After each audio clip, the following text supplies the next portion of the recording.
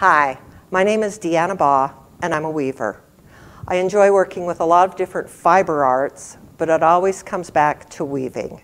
I use a number of different types of looms, and the smallest of this, the little pin loom, is one that I can carry when I go places.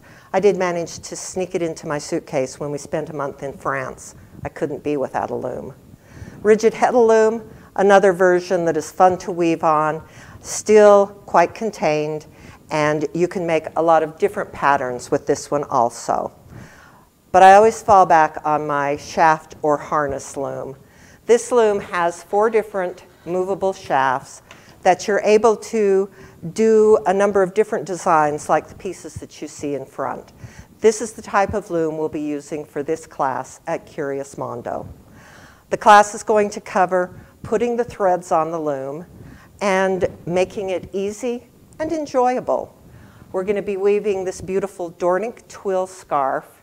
It uses two colors and two shuttles, so you'll be learning a number of different techniques in the weaving as, long, as well as in the warping the loom. So join me for this class at curiousmondo.com.